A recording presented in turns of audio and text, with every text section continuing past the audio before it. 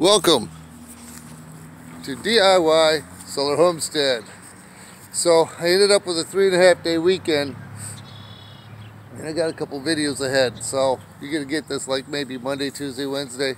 This is actually Sunday. Happy Easter. But um, I got a distraction. I always get distractions. But uh, I took a three and a half day weekend for a road trip. It didn't happen yet, but I got three and a half days to myself, that's beautiful. And I'll show you what's happening. So here we go. I had put lots of wood chips down, layers of leaves. You can see some straw in there, and a coconut that did not make it in the indoor garden. But it's all compost now. so I uh, dropped in 10 dozen worms about two weekends, two weekends ago probably. And somebody asked me what happens if the worms die because it gets cold, right? So I don't, I don't care, I told them. worms are the best thing for your garden ever imaginably possible, whether they live or they die. And I will get more in the near future. So worm castings are amazing for the garden. So a lot of the stuff coming out of the indoor garden is going to come out to the garden. I do got to get a fence. So once I get some, some fence, keep the critters out, it'll be better. Now another thing, I thought I was going to move. Well, I cleaned the pool out. It doesn't drain correctly down here. So it's a mess.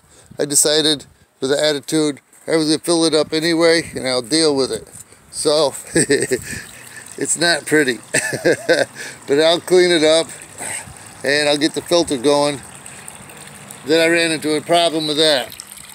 So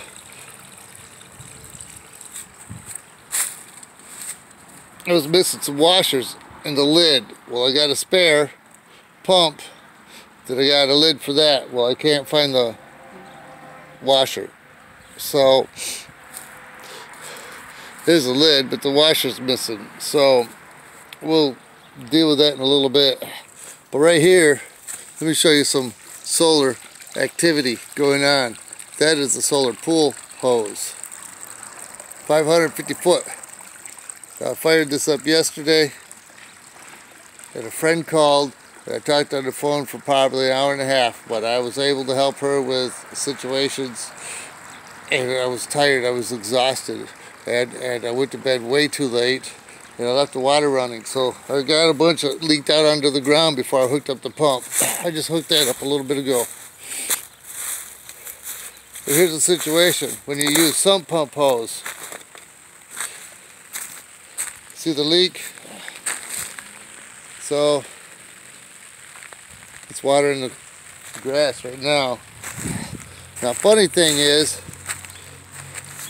somewhere around here is a leak and up one of these hoses over here also that is not appearing to be spraying out right now and I don't know why.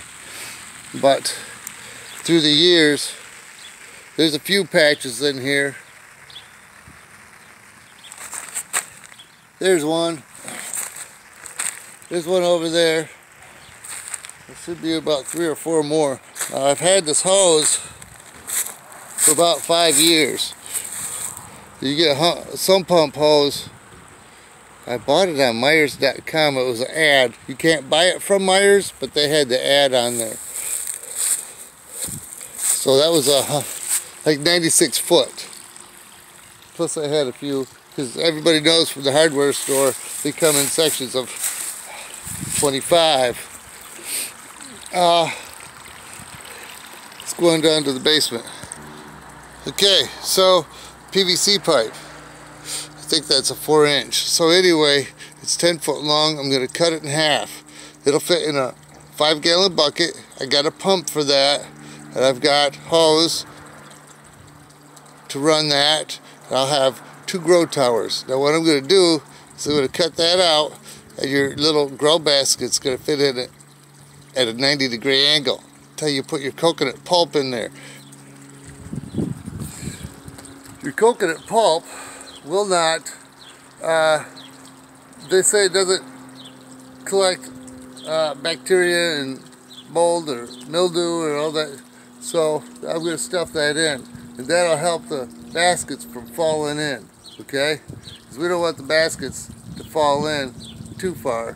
We just want it at a 45 degree angle. I got it all worked out. It's just a plan of action right now. But uh, I would